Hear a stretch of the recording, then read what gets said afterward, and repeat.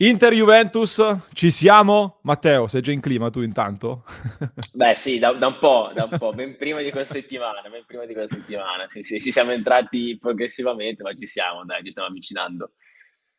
Do il benvenuto qui su Passione Inter allora oggi per questo episodio speciale. Matteo Davom23, come lo conoscete su YouTube, host di Tutti in the Box, è giusto dire così Matteo? Benvenuto. Sì, assolutamente sì, assolutamente sì. Gra- grazie mille, grazie per l'invito, insomma spero che la vostra community sia eh, come dire, educata nell'accogliermi nonostante, nonostante, la bandiera di colori diversi a distanza di così pochi giorni dal, dal big match. No, comunque a parte gli scherzi, grazie mille per l'invito, è un grandissimo piacere poter essere qua e insomma, presentare anche un po', prepararci insieme alla partita con, con tutti i vostri seguaci, con tutta la vostra community. Sì, sì, sì, sì no, abbiamo una gran bella community che sicuramente ti saprà accogliere, Matteo, ma eh, sono ore molto calde. Diciamo, l'idea era quella di presentare questa partita, di farlo, chiaramente noi nelle prossime ore porteremo le nostre preview, volevamo però ascoltare anche un po' il punto di vista juventino, vogliamo sentire un po' il polso del mondo bianconero su questa partita. La prima cosa che mi viene da chiederti subito è lato Juve, o almeno secondo te arriva troppo presto questa partita? È già decisiva a questo punto oppure, oppure ancora no? C'è ancora tanta strada?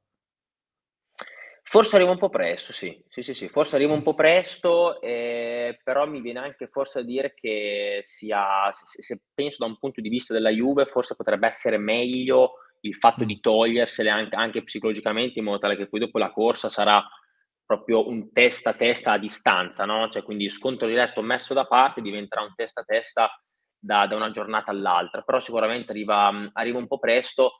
Tu pensa, eh, allora, se tu mi chiedi se è decisiva, è chiaro che finché la matematica, questa è la classica risposta proprio preconfezionata, no? Cioè, finché la matematica non condanna, anche da tifoso è bello, è bello crederci fino, fino alla fine. Però tu pensa che per me è stata mezzo decisiva, mezzo decisivo il, il weekend scorso, quindi pensa io ah. come, come, come arrivo okay. a, questo, a, questo weekend, a questo weekend qua.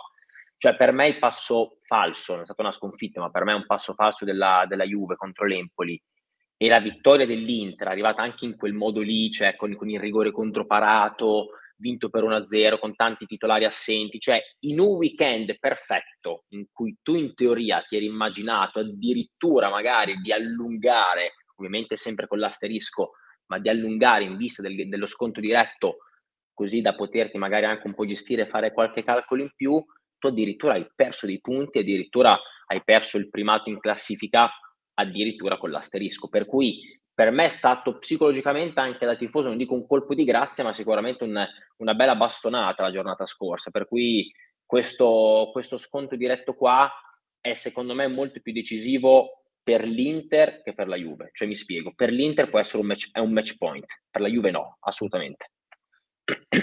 Uh, eh, quindi eh, mi hai dato vari spunti, però prima di approfondire questo faccio un passo indietro. Io da esterno ho avvertito um, un po' di nervosismo, te la metto così, dopo il pareggio con, um, con l'Empoli, nel senso che si è molto parlato del bot e risposta mediatico di, di quello che è stato il duello dialettico. Uh, da esterno, guardando il mondo Inter, ho visto l'Inter comunque non rispondere, a parte Acerbi che poi avevamo sottolineato anche da te a tutti in the box che io non avevo condiviso quell'uscita. Uh, lato Inter non hanno risposto, sono stati concentrati sul campo. Dopo l'Empoli io ci ho visto qualcosa di qualche segnale che da interista sulla mia Inter avrei interpretato come segnale di nervosismo. Ti chiedo se sei d'accordo e quindi che momento è questo per la Juventus per, per affrontare l'Inter?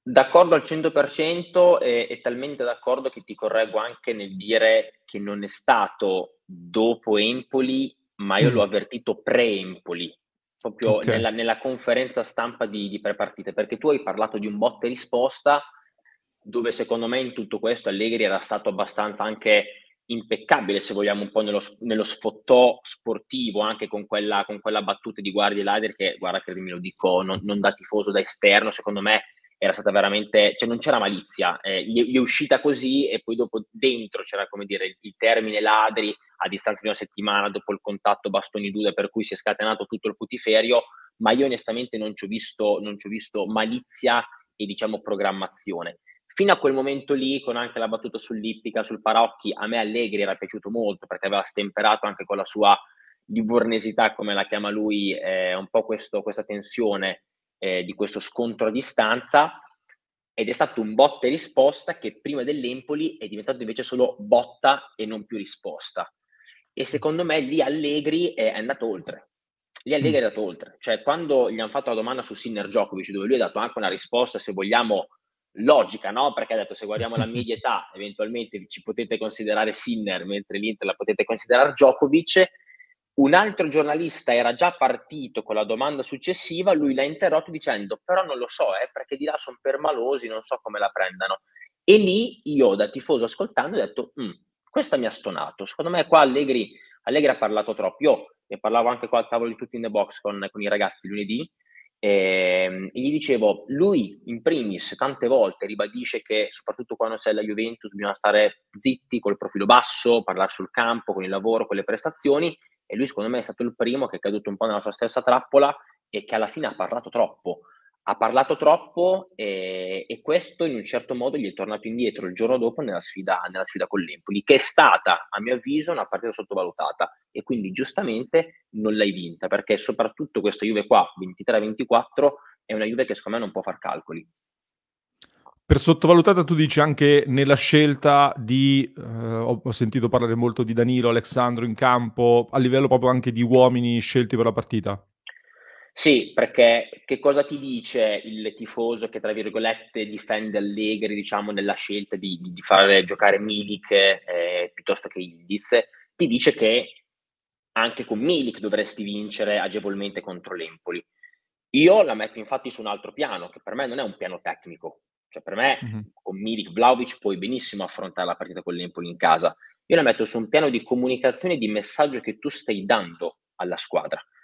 Perché se tu mi tieni giù, innanzitutto, il giocatore che ti sta facendo in questo momento la differenza, soprattutto in assenza di Chiesa, che è appunto Kenan Ildiz, eh, da quando c'è lui avevi fatto 5 vittorie di fila, che comunque fare un filotto di 5 vittorie in Serie A non è, non è, mai semplice, comunque ti ha permesso, seppur con una partita in più, di arrivare prima in classifica. Comunque stava funzionando bene, stava funzionando bene anche in coppia con Vlaovic, ma soprattutto si è parlato troppo poco della scelta di Danilo anche, perché in questa stagione era già successo che un nostro giocatore, cioè Federico Gatti, fosse diffidato prima di un big match, credo Monza-Napoli fosse la coperta di partita, adesso non voglio, non voglio dire una cavolata, ma c'era stata una partita in cui Gatti era diffidato e la settimana dopo ci aspettava un big match. In conferenza gli hanno chiesto domani risparmierai Gatti visto che la prossima settimana? Lui ha detto no, perché la partita più importante oggi, poi contro quella squadra ci andremo a giocare con gli effettivi e con chi ci sarà, perché non bisogna fare calcoli. Il fatto che lui, anche già prima della conferenza, avesse preannunciato che, che, Danilo l'avrebbe risparmiato, è secondo me il messaggio sbagliato che tu stai dando alla squadra di una partita che sarà semplice, che sarà facile, che sarà quasi una sorta di come, una, come fosse una passeggiata di salute, no? E questo messaggio qua, eh, innanzitutto, si è visto in un approccio alla partita sbagliato, una cosa che la Juventus quest'anno possiamo dire non è praticamente mai successo perché ha sempre avuto degli approcci alla partita da un punto di vista mentale di concentrazione pressoché impeccabili. Invece contro l'Empoli, forse davvero per la prima volta, primi dieci minuti, squadra disordinata, il Napoli che scendeva agevolmente, mm. eh, hai sbagliato tanto tecnicamente e il tutto è sfociato in un gesto ingenuo, ma comunque sintomo anche di poca concentrazione e forse già un pelo di nervosismo, che è ovviamente il fallo di Milik. Quindi lo, lo, intendo proprio da questo punto di vista qua. Alla fine poi si è visto in campo quello che gli errori che tu diciamo hai fatto anche da un punto di vista di comunicazione sia verso l'esterno e sia verso l'interno, cioè verso il tuo spogliatoio, verso la tua squadra. Questo lato Inter io ci vedo invece forse un po' di maturità in più nel gruppo Inter nel momento in cui anche Inzaghi secondo me ha fatto alcune scelte comunque tenendo conto della Juventus. Detto che comunque Di Marco non gioca perché era stato spremuto in, uh, in Supercoppa italiana, uh, comunque c'erano due assenze come c'erano e Barella per squalifica, quindi ci sono state scelte anche abbastanza obbligate, però la risposta anche di chi è stato uh, messo in campo in questo momento così è stata una risposta comunque positiva su un campo molto difficile come... Ma guarda, allora scusami se ti interrompo, sì. secondo me ehm, l'Inter di oggi se lo può permettere molto di più che la Juventus Cioè, eh, mm. parlo proprio di periodo storico, non parlo in generale. Cioè, se mi, se mi, parli della prima Juve di Allegri che andava col pilota automatico, ti avrei detto, ok, serenissimo, facciamo pure le rotazioni del caso in vista dell'Inter. Ma la Juve di oggi, che a maggior ragione è una squadra che gioca una partita a settimana, quindi sostanzialmente non ha nemmeno bisogno di rifiatare, eh, secondo me è una, è una, scelta sbagliata che, che, ha poco senso. L'Inter, secondo me, se lo può permettere molto di più. Quindi sono d'accordo allora, in, in, questo senso, allora, Matteo, ne stavamo discutendo nell'ultima diretta. Uh, molti tifosi e tifosi interisti ci dicevano forse per quello che sarà anche uh, il resto della stagione, per quello che sarà poi anche il discorso che l'Inter ha la Champions e lato Inter si considera un vantaggio comunque che la Juventus possa focalizzarsi solo sul campionato. Uh, ci viene da dire, da quello che leggevo, una vittoria dell'Inter in questa partita avrebbe sì un peso molto importante, ma non quanto un'eventuale sconfitta, al contrario. Cioè una sconfitta per l'Inter potrebbe essere forse più pericolosa, dannosa di quanto sarebbe ah. invece positiva una vittoria. Questo è un po' un messaggio che ho colto nell'ultima diretta da parte di molti ah. tifosi. Quindi, quindi ti chiedo diciamo anche come si traduce potrebbe... questo No, come si traduce questo anche lato Juve, magari un pareggio viene interpretato come un possibile buon risultato da, in questo momento? Allora, partiamo dal presupposto che un po' per tutti gli appassionati mi auguro che possa essere una partita più bellina e più emozionante di quella dell'andata perché era stata veramente carente di, di, di contenuti calcistici, no? Quindi innanzitutto auguriamoci che possa essere un, un, un Inter Juve un pochino più, più bello e avvincente. Eh, per quanto riguarda la tua domanda, allora nella strategia di Allegri secondo me questo non, non cambia tanto. Mi sorprende un po' quello che, quello che, tu mi stai dicendo, cioè il fatto che un po' il sentiment magari generale del, del tifoso Inter, della tifoseria Inter, che una sconfitta con la Juve possa essere fatale per, ehm, per il resto del campionato. Insomma, eh, io onestamente la penso al contrario, come ti, dicevo, come ti dicevo prima. Secondo me la strategia di Allegri non cambia e, ehm, e lui secondo me la imposterà un po' allo stesso modo. Mi aspetto invece un Inzaghi che proverà a dare il colpo di grazia. Cioè io mi aspetto un, mi aspetto un Allegri che cercherà da un lato di gestirla, eh, come fa tantissime volte anche in tanti scontri diretti, perché poi l'andata comunque, i primi 45 minuti, la, eh, la Juve aveva deciso di aggredire molto la, la, partita, tant'è che comunque il gol di Vlaovic nasce da un pallone recuperato nell'ultimo terzo di campo. E, ehm, invece, secondo me, a San Siro vedremo una squadra molto più compassata, molto più bloccata, molto più compatta dietro la linea del pallone. Proverà, secondo me, a giocarsela anche un po' su episodi, sulle palline attive, dove la Juve è veramente molto forte.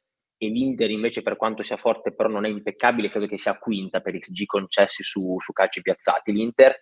E, al contrario, di là mi aspetto invece un Inzaghi che la preparerà, la preparerà sull'azzannare la partita e cercare di dare il colpo di grazia al campionato. Questo mi aspetto. E allora a livello di atteggiamento, a livello di, di partite, diciamo, sarà una partita diversa da quella dell'andata. All'andata c'era proprio la sensazione che nessuno delle due potesse perdere, oltre a non voler perdere, e forse era ancora una stagione ehm, in costruzione Ora le cose sono cambiate, anche lato Juve sono passati diversi periodi, secondo me, della stagione la Juve si è evoluta. Sì, sicuramente sì, sicuramente sì, però sai, quella partita lì era la comfort zone della Juve in cui l'Inter ha deciso di starci. Per cui secondo me il primo passo deve essere fatto proprio dall'Inter, no? se non vogliamo rivedere quella, quella stessa trama di, di partita, perché credo che la Juve comunque non credo nemmeno, non mi aspetto nemmeno, te l'ho, te l'ho detto poco fa, che la Juve magari proverà a fare quei mm. primi 20-30 minuti arrembanti per cercare di sbloccare la gara. Cioè mi aspetto una Juve che se la giocherà e cercherà di giocarsela un po', un po' sugli episodi, quindi dovrà essere più l'Inter eventualmente a dare il segnale di voler vincere questa partita. Eh, e chiaramente eh, rispetto a quel momento lì, secondo me la Juventus è evoluta in, in, in, in alcuni aspetti, eh, anche da un punto di vista di prestazioni e se vogliamo da un punto di vista prettamente estetico, qualcosa, qualche passo in avanti secondo me, secondo me si è visto, secondo me l'evoluzione più grande, il passo in avanti più grande che ha fatto, che ha fatto questa squadra è stata eh, la capacità di leggere le partite, che è, è un must nel, nel, calcio di Allegri. Quante volte sentiamo Allegri pronunciare queste parole nelle conferenze pre-post partita?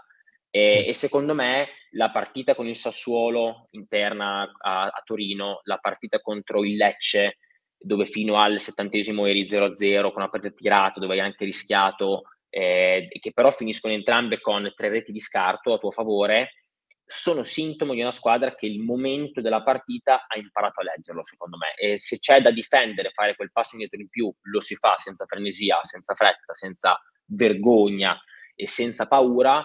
Nel momento in cui invece bisogna zannare, ecco che viene fuori anche quel cinismo e quella maturità di dire ok, adesso andiamo a far gol e poi c'è anche la maturità magari di dire andiamo anche a chiuderla, quindi non portiamola avanti fino all'1-0, ma cerchiamo magari di di andare anche sul 2-0 o addirittura sul 3-0. Quindi questo secondo me è il passo in, agra- in avanti più, più, grande che ha, fatto, che ha, fatto, la Juve, da quelle, da quelle Juve-Inter di qualche settimana fa. E allora andando in chiusura Matteo ti chiedo, c'è già una bozza di formazione, un'idea, quali sono magari i dubbi principali e le certezze? Allora, ehm, guarda, io mi auguro eh, da tifoso che, che Rabiot stia bene eh, perché già il nostro centrocampo è carente, è scarno. Senza Rabiot si perde veramente in termini di peso e di presenza in mezzo al campo un qualcosa di, di importante, per cui spero che quella possa tornare adesso una certezza, dato che credo soltanto mm-hmm. oggi rientrare in gruppo, perché se Chiesa è rientrato in gruppo, Rabiot invece non lo ha ancora fatto, però si parlava di giovedì, per cui oggi avremo, avremo novità. La certezza ovviamente ehm, è Vlaovic, per quello che è il periodo che sta trascorrendo. Il dubbio, che dicono ovviamente gli insider del mondo Juve, è paradossalmente il modulo, perché si parla addirittura di un 3-5-1-1, cioè quindi alle spalle di Vlaovic l'idea potrebbe essere quella di metterci il Miretti che va a disturbare su Cialanoglu un po' come Sule fece l'anno scorso a San Siro, partita vinta poi dalla Juve per 1-0, gol di Kostic, con Sule che si francobollò a Brozovic.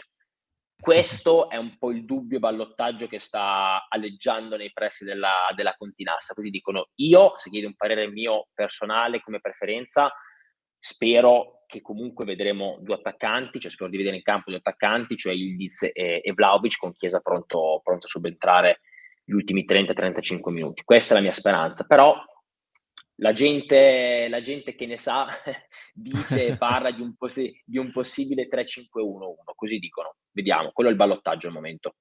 Quindi Miretti, Miretti iniziato per giocare Miretti. dietro Vlaovic. Sarebbe un'indicazione anche di piuttosto chiara del tipo di tattica forse che possiamo aspettarci, di un centrocampo più solido e eh, di un'attenzione ah, sì. particolare. Eh, Matteo, ti ringrazio. Non so se ti vuoi sbilanciare più che un pronostico, magari la, la sensazione, che tipo di partita e chi parte davanti, come può finire. Guarda, il, eh, io, io, io pronostici sono abituato a non farne. Eh, la mia sensazione è che vincerà l'Inter, cioè secondo me ci arriva, poi ovviamente fate tutti gli scongiuri del caso, tifosi nerazzurri che ci state ascoltando, perché capisco, eh, non, non, lo faccio per, per gufare, ma la mia sensazione è questa e ripeto, se l'abbiamo avvertita noi così tanta amarezza eh, dalla giornata scorsa, secondo me un po' di amarezza c'è stata anche dentro lo spogliatoio. Ma proprio per un po' di, c'è la sensazione magari anche di occasione persa, capito? Quasi, quasi un mezzo rimpianto, perché veramente potevi arrivare a un Inter con il coltello dalla parte del manico, no? per intenderci, invece ci arrivi che eh, di fatto l'Inter ha, ha, ha, tutto dalla sua parte e, e quindi secondo me l'Inter ci arriva anche con una serenità mentale che gli permetterà quindi di, eh, di, di, esprimersi al meglio. Questa qua è un po' la mia, la mia, sensazione. È chiaro che da tifoso poi mi auguro che vada esattamente al contrario di quanto, di quanto, di, di quanto ho appena descritto. Però insomma, questa qua è un po' la lettura che do nel, nel pregare, nel prepartita. Ti ringrazio, grazie mille allora Matteo, Davon 23, tutti in the box, trovate i link in uh, descrizione per seguire tutte le trasmissioni e i contenuti, grazie mille Matteo. Grazie a te Laura, grazie per l'invito e saluto tutti i ragazzi, spero sia stata una bella chiacchierata per tutti.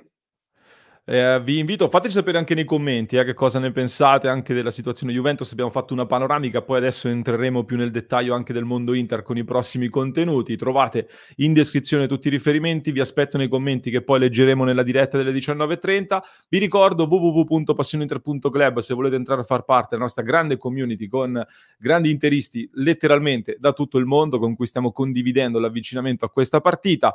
Eh, vi lascio poi in descrizione un altro approfondimento da non perdere per chi ci ascolta in podcast, mentre per chi ci segue da YouTube basta fare clic qui.